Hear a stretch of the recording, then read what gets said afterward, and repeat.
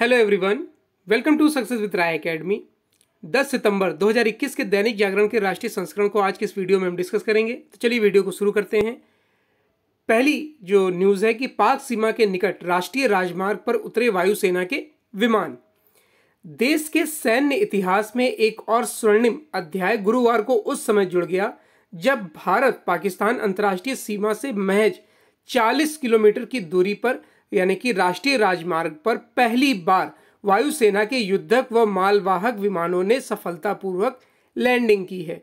रक्षा मंत्री राजनाथ सिंह और सड़क परिवहन व राज्य मंत्री, राजमार्ग मंत्री नितिन गडकरी को लेकर राजस्थान में बाड़मेर, जालौर की सीमा पर सत्ता गांधव के बीच राष्ट्रीय राजमार्ग 925 ए पर बनी इमरजेंसी लैंडिंग फैसिलिटी पर उतरे वायुसेना के हरकुलिस सी 130 जे विमान ने इतिहास रच दिया। देखिए, पिक भी दी गई है, आप देख सकते हैं। और 19 महीने में हुआ है निर्माण, जो ये राष्ट्रीय राजमार्ग है, जिसमें इमरजेंसी लैंडिंग होती, होगी, वो 19 महीनों के भीतर तैयार किया गया है। निर्माण कार्य की शुरुआत जुलाई 2019 में हुई थी और उसे जनवरी 2021 में पूरा कर लिया गया है। नेक्स्ट न्यूज़ है कि अफ़गानिस्तान ना बने आतंक की पनाह। देखिए, जो ब्रिक्स सम्मेलन हुआ है, शिखर सम्मेलन, उसमें प्रधानमंत्री नरेंद्र मोदी ने ये बात बोली है। दुनिया के पाँच बड़े देशों, ब्राज़ील, रूस, भारत, चीन और साउथ अफ्रीका के गठबंधन या संगठन, ब्रिक्स ने अफ़गानिस्तान के हालात को लेकर चिंता जताई है और इस देश को आतंकवाद की पनाह, पनाहगाह बनने से रोकने की अपील की है। संगठन के प्रमुखों की गुरुवार को हुई वर्चुअल बैठक की अध्यक्षता प्रधानमंत्री नरेंद्र मोदी ने की है। ब्रिक्स की यह पंद्रहवीं सालाना बैठक थी और भारत इस साल के लिए इसका अध्यक्ष है। प्रधानमंत्री नरेंद्र मोदी ने अपने संबोधन में जानकारी दी कि ब्रिक्स देशों ने आतंकवाद के खिलाफ एक कार्य योजना को स्वीकृति दे दी है। इस कार्य योजना का प्रस्ताव भारत की तरफ़ से ही किया गया था। प्रधानमंत्री ने कहा कि 15 वर्षों के दौरान ब्रिक्स को और मज़बूत बनाने का लक्ष्य होना चाहिए। इस तरह से भारत ने स्पष्ट कर दिया है कि पिछले तीन वर्षों में अमेरिका के नेतृत्व में क्वाड, यानी कि चार संगठनों, चार देशों का संगठन का अहम सदस्य बनने के बावजूद, वह ब्रिक्स को लेकर प्रतिबद्ध है। देखिए, ब्रिक्स के बारे में और क्वाड संगठन के बारे में आपको पिछले कई वीडियोस में लगातार विस्तार से बताया जा चुका है। काबुल में प्रदर्शन कर रही महिलाओं पर तालिबान ने बरसाए कोड़े। असली चेहरा फिर से सामने आया। अंतरिम सरकार का गठन होते ही तालिबान की क्रूरता चरम पर पहुँच गई है। उसकी ज्यादतियाँ अब सार्वजनिक स्थानों पर खुलेआम देखने को मिल रही है। अपने अधिकारों के लिए संघर्ष कर रही महिलाओं के राजधानी काबुल में प्रदर्शन के दौरान तालिबान ने उन पर जमकर कोड़े बरसाए और लाठियों से बुरी तरह पीटा है।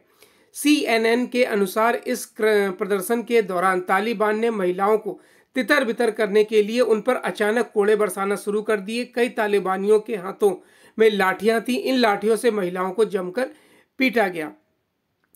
देखिए, जब वहाँ पर महिलाएँ जिन जो 20 साल, यानी कि 2001 से जब अफगान सरकार का गठन हुआ, तब से जितना वो आगे बढ़ी थी, जितना उन्हें उन्हें अधिकार प्राप्त किए थे, जितना उन्हें शिक्षा मिलना प्रारंभ हुई थी, हर क्षेत्र में उनकी भागीदारी बढ़ रही थी। अब तालिबान के आने के बाद उनके सारे अधिकार छिन गए हैं। वे फिर से चौरानवे से लेकर 2001 तक की स्थिति में पहुँच गई हैं, जब वहाँ पर तालिबान का शासन था। नेक्स्ट न्यूज़ है। उच्च शिक्षण संस्थानों में आईआईटी मद्रास फिर शीर्ष पर। उच्च शिक्षण संस्थानों के शैक्षणिक प्रदर्शन के आधार पर शिक्षा मंत्रालय ने गुरुवार को नेशनल इंस्टीट्यूशन रैंकिंग फ्रेमवर्क, यानी एनआईआरएफ की इंडिया रैंकिंग 2021 जारी की है। इसमें भारतीय प्रौद्योगिकी संस्थान आईआईटी मद्रास ने ओवरऑल कैटेगरी में फिर परचम लहराया है। दूसरे स्थान पर Indian Institute of Science, Bengaluru. तीसरे पर आईआईटी बॉम्बे। चौथे पर आईआईटी दिल्ली। पाँचवें पर आईआईटी कानपुर है। वहीं जवाहरलाल नेहरू विश्वविद्यालय, यानी जेएनयू, नौवें और बी एच यू दसवें स्थान पर काबिज है। पिछले साल की रैंकिंग में आईआईटी मद्रास शीर्ष पर तो दिल्ली, तीसरे और कानपुर छठे स्थान पर था। एन आई आर एफ़ की इंडिया रैंकिंग इस बार पुनः कुल 11 कैटेगरी में जारी। की गई है। पहली बार इसमें रिसर्च की एक नई कैटेगरी शामिल की गई है, जिसमें आई आई एस सी बेंगलोर पहले आईआईटी मद्रास दूसरे और बॉम्बे आईआईटी बॉम्बे तीसरे तीसरे और दिल्ली और कानपुर चौथे, पाँचवें स्थान पर रहे हैं। केंद्रीय शिक्षा मंत्री धर्मेंद्र प्रधान ने गुरुवार को मंत्रालय में आयोजित एक कार्यक्रम में उच्च शिक्षण संस्थानों की, यह रैंकिंग जारी की। साथ ही उच्च शिक्षण संस्थानों की क्षेत्रीय रैंकिंग जारी करने पर भी विचार करने को कहा है।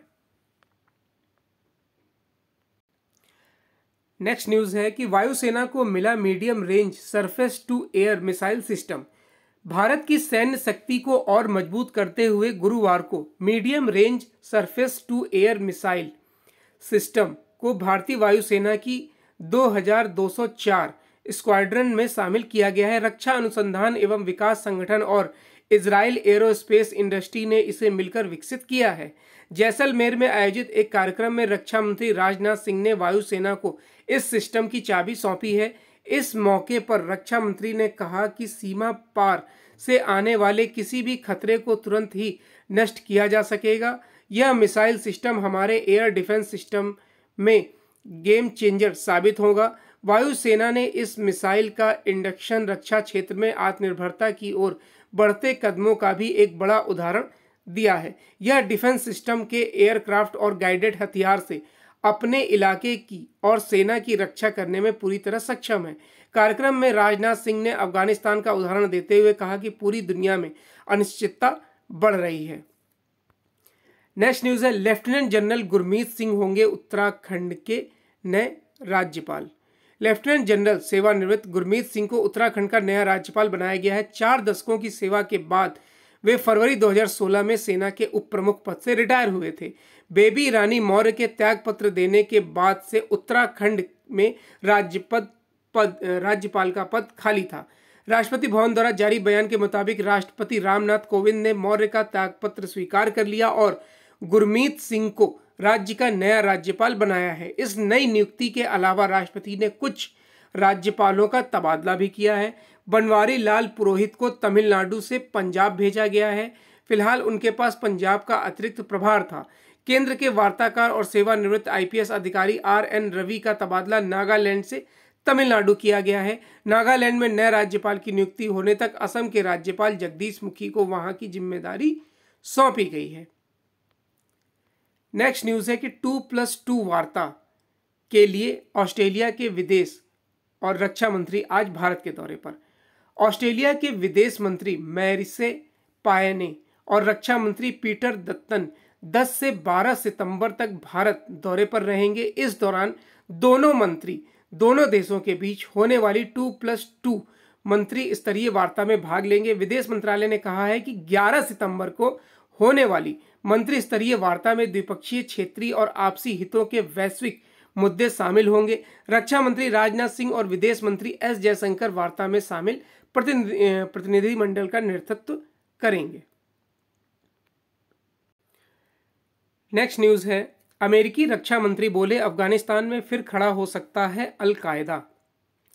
अमेरिकी, अमेरिका के रक्षा मंत्री लॉयड ऑस्टिन ने इस बात की आशंका जताई है कि अफ़गानिस्तान में तालिबान शासन के दौरान आतंकी संगठन अलकायदा फिर खड़ा हो सकता है। उन्होंने कहा कि हम तालिबान को पहले से ही अलकायदा से दूर रहने की चेतावनी दे रहे हैं। अमेरिकी रक्षा मंत्री चार दिन की खाड़ी देशों की यात्रा के दौरान कुवैत शहर में पत्रकारों से वार्ता कर रहे थे। उन्होंने कहा कि अलकायदा को लेकर हमारी तैयारी पूरी है। हम तालिबान को आगाह कर रहे हैं कि वह अफ़गानिस्तान की ज़मीन को अलकायदा को इस्तेमाल न करने दे। फरवरी 2020 में तालिबान ने ट्रंप प्रशासन से यह समझौता किया था कि वह भविष्य में अलकायदा या ऐसे किसी भी अन्य संगठन का समर्थन नहीं करेगा जो अमेरिका को धमकी देते हैं। लेकिन ऐसा कम ही लगता है कि तालिबान समझौते का पूरी तरह पालन करेगा।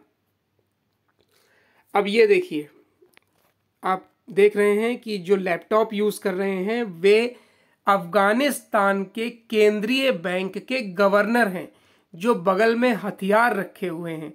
अब जिस देश का केंद्रीय बैंक का गवर्नर हथियार लेकर बैंकिंग प्रणाली संभालेगा, उस देश की आप स्थिति समझ सकते हैं। और इनका नाम है मोहम्मद इद्रिस। नेक्स्ट न्यूज़ है 11 सितंबर को शपथ ले सकती है तालिबान की कार्यवाहक सरकार। बंदूक के दम पर अफ़गानिस्तान की सत्ता हासिल करने वाले तालिबान की कार्यवाहक सरकार 11 सितंबर को शपथ ले सकती है। इसी दिन वर्ष 2001 में अमेरिका स्थित विश्व संगठन, विश्व व्यापार संगठन यानी डब्ल्यूटीओ के ट्विन टावर पर भीषण आतंकी हमला हुआ था। रिपोर्ट के अनुसार शपथ ग्रहण समारोह के लिए तालिबान सरकार की तरफ़ से भारत, चीन, तुर्की, पाकिस्तान, ईरान कतर और अमेरिका आदि को आमंत्रण भेजा गया है। तालिबान ने अपनी सरकार को कार्यवाहक बताते हुए उसके मित्रों के नामों की घोषणा की है। वह अंतर्राष्ट्रीय मान्यता चाहता है। इसके लिए उसने विभिन्न देशों से युद्धग्रस्त अफ़गानिस्तान में दूतावासों को फिर से खोलने की अपील की है। तालिबान के प्रवक्ता जबीउल्ला मुजाहिद ने कहा है कि हम मानते हैं कि निवेश के लिए शांति और स्थिरता ज़रूरी है। हम चीन समेत सभी पड़ोसियों के साथ मधुर संबंध चाहते हैं। युद्ध खत्म हो चुका है और देश संकट से उबर रहा है। हमें लोगों के समर्थन की ज़रूरत है। अफ़गानिस्तान को मान्यता पाने का हक है। अंतर्राष्ट्रीय समुदाय को काबुल में दूतावास फिर से खोलना चाहिए। नेक्स्ट न्यूज़ पर आते हैं। नेक्स्ट पेज है एडिटोरियल पेज और एडिटोरियल पेज में पहला आर्टिकल है, मुगालते में बाइडन प्रशासन। और यह आर्टिकल लिखा है सामरिक विश्लेषक ब्रह्मा चेलानी द्वारा। देखिए, अफ़गानिस्तान में अपनी अनर्थकारी वापसी को लेकर गलती मानने के बजाय अमेरिका के राष्ट्रपति जो बाइडेन द्वारा उसे वाजिब ठहराने की कोशिश यही दर्शाता है कि यह उनके प्रशासन का एक लौता फैसला नहीं होने जा रहा है। बाइडेन इसे अपने नेतृत्व में अमेरिका के रणनीतिक उद्देश्यों के आधारभूत पुनर्संयोजन का प्रतीक बता रहे हैं। इसके साथ ही उन्होंने इराक से भी इस साल वापसी की बात कही है। उनकी इन बातों से यह, यही सवाल उठ रहा है कि क्या अमेरिका अपनी वैश्विक प्रतिबंध, प्रतिबद्धताओं से कदम पीछे खींच रहा है? अफ़गानिस्तान में बाइडेन ने जो अनर्थ किया है और जिस दिशा में अमेरिकी विदेश नीति जाती दिख रही है, उसे देखते हुए अमेरिका विरोधियों का हौसला बढ़ना तय है। वहीं अमेरिका के संगी साथियों को नए सिरे से आकलन करना होगा, क्योंकि अमेरिका अमेरिकी रुख अब संदिग्ध लगने लगा है। अब यूक्रेन चिंतित है कि जो, जैसे बाइडेन ने अफगान सरकार को दगा दिया, वैसे ही वह उन्हें भी अधर में छोड़ देंगे। चिंता ताइवान को भी सता रही है कि बाइडेन की ऐतिहासिक भूल के बाद चीनी राष्ट्रपति सी जिनपिंग उनके खिलाफ कोई जंग छेड़ सकते हैं। अमेरिका को लेकर ऐसी आशंकाएँ निराधार नहीं हैं। बाइडेन ने अफ़गानिस्तान को जिस तरह आतंकियों को तस्तरी में परोस दे, कर दे दिया है वह अंतर्राष्ट्रीय जिहादी मुहिम के लिए एक बड़ी जीत है। यह भी एक दुर्योग है कि बाइडेन के सत्ता संभालने के कुछ ही महीनों के भीतर आतंकियों ने अफ़गानिस्तान पर कब्जा जमा लिया है। ऐसे में निश्चित है कि यह बाइडेन की आखिरी भूल नहीं साबित होगी। राष्ट्रपति बनने से पहले बाइडेन कई अहम पदों पर रहे हैं। उस दौरान उनके सहयोगी रहे तमाम लोग उनकी नीतियों और फैसलों को लेकर सवाल उठा रहे हैं। जहाँ तक अलकायदा का सवाल है तो काबुल पर कब्जे के बाद से तालिबान के प्रवक्ता ने उसके खिलाफ एक शब्द नहीं बोला है, उल्टे। उसने यहाँ तक कहा कि अमेरिका में 9/11 हमले में लादेन की संलिप्तता में, संलिप्तता के कोई सबूत नहीं है। जो लोग तालिबान और अलकायदा को जुदा समझते हैं, उनके लिए यह एक दृष्टांत है। अक्टूबर 2015 में जनरल जॉन एफ़ कैबेल के नेतृत्व में अमेरिकी सेनाओं ने दक्षिण पूर्वी अफ़गानिस्तान में अलकायदा के सबसे बड़े आतंकी ठिकाने का पता लगाया, जो करीब 30 वर्ग मील के दायरे में फैला हुआ था। मालूम पड़ा कि वहाँ अलकायदा और तालिबान के रंगरूट एक साथ प्रशिक्षण लेने के अलावा उनका साथ में संचालन कर रहे थे। बाइडन प्रशासन कई मुगालते पाले हुए हैं। वह मानता है कि तालिबान और अमेरिका दोनों आईएस खुरासान के शत्रु हैं, जबकि तालिबान ने ही खुरासान के कई आतंकियों को अमेरिकी कैद से छुड़वाया है। ऐसे में वे कैसे दुश्मन हो सकते हैं? इसी तरह वह तालिबान और हक्कानी नेटवर्क को अलग संगठन मानता है, जबकि इसी हक्कानी नेटवर्क का मुखिया सिराजुद्दीन हक्कानी तालिबान के शीर्ष नेताओं में शुमार है और उसे नई अंतरिम सरकार में गृह मंत्रालय का जिम्मा मिला है। यही हक्कानी नेटवर्क आप कह सकते हैं कि मानव बम बनाने वाला दुनिया का सबसे बड़ा आतंकी दस्ता है। इसके बावजूद बाइडेन प्रशासन ने काबुल से अपने और सहयोगी देशों के नागरिकों की सुरक्षित वापसी के लिए हक्कानी नेटवर्क का पर भरोसा किया है और अफगान में शेष रह रहे लोगों को इन विक्षिप्त धार्मिक उन्मादी तानाशाहों के रहमो करम पर छोड़ दिया है। नेक्स्ट न्यू जो आर्टिकल है, वो धार्मिक आर्टिकल है, उसका मतलब हमारे एग्ज़ाम के पॉइंट ऑफ़ व्यू से ज़्यादा महत्व तो नहीं है, इसलिए इसे डिस्कस नहीं करेंगे। और उसके बाद संक्रमण बढ़ने का खतरा। केरल में और जो ये गणेश उत्सव है, उसमें फिर से संक्रमण बढ़ने का खतरा हो सकता है, इस पर लिखा गया आर्टिकल वो भी इंपॉर्टेंट नहीं है हमारे लिए। अब नेक्स्ट पेज पर आते हैं, जो है बिज़नेस पेज बिज़नेस पेज में सबसे पहली जो न्यूज़ है कि भारत में टिकना अफोर्ड नहीं कर पाई फोर्ड। पिछली एक दशक के दौरान भारतीय कार बाज़ार में अपनी उपस्थिति मज़बूत करने की कई कोशिशों के बावजूद अमेरिका की फोर्ड कंपनी मोटर कंपनी ने गुरुवार को भारत में अपने दोनों उत्पादन संयंत्र बंद करने की घोषणा कर दी है।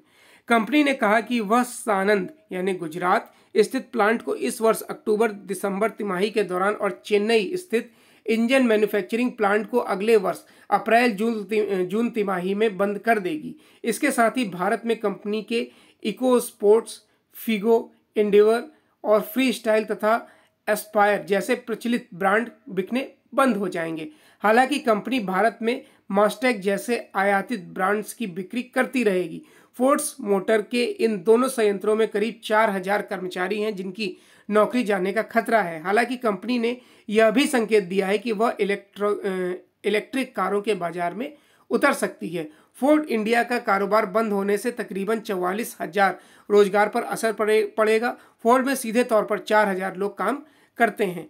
कंपनी के तीन सौ इक्यानवे शोरूम में कुल मिलाकर चालीस हज़ार कर्मचारी कार्य करते हैं।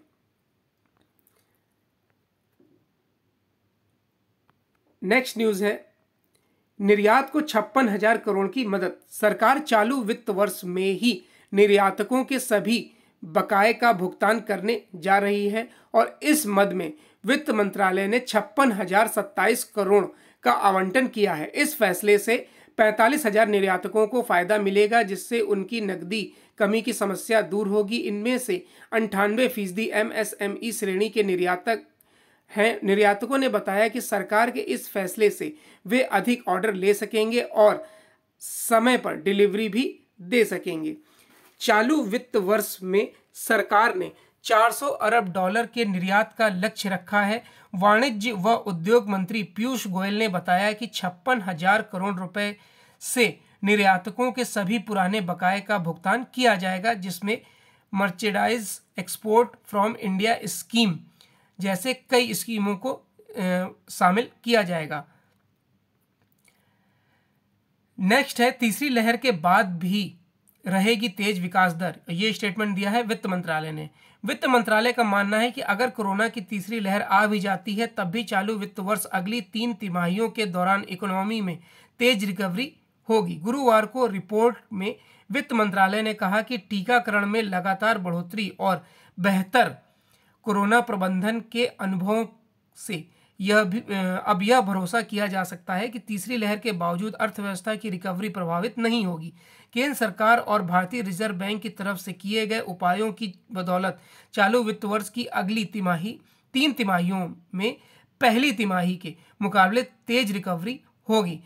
आठ सितंबर तक देश की 60 फ़ीसदी वयस्क आबादी टीके की कम से कम एक डोज ले चुकी है। हालाँकि रिपोर्ट में एक बार फिर से डेल्टा वेरिएंट को लेकर चिंता ज़ाहिर की गई है और इसे रोकने के लिए जाँच में बढ़ोतरी के साथ कोरोना रोकथाम व्यवहार को जारी रखने की हिदायत दी गई है। नेक्स्ट पेज पर आते हैं। नेक्स्ट न्यूज़ है स्पोर्ट्स पेज की कि दमदार वापसी से सेमीफाइनल में पहुँचे जोकोविच। जोकोविच ने दुनिया के नंबर एक टेनिस खिलाड़ी नोवाक जोकोविच ने एक बार फिर पहला सेट हारने के बाद इटली के मैटियो बेरटनी के खिलाफ चार सेटों तक चले मुकाबले में पाँच सात, छः दो छः दो, छः तीन से जीत दर्ज की है। अब सेमीफाइनल में उनका सामना जर्मनी के Tokyo Olympic champion Alexander Zverev से होगा। तो ये आज का यानी 10 सितंबर 2021 का दैनिक जागरण का राष्ट्रीय संस्करण था। आई होप आपको वीडियो अच्छा लगा होगा। अगर वीडियो अच्छा लगा हो तो लाइक और शेयर कर दीजिएगा। वीडियो देखने के लिए धन्यवाद।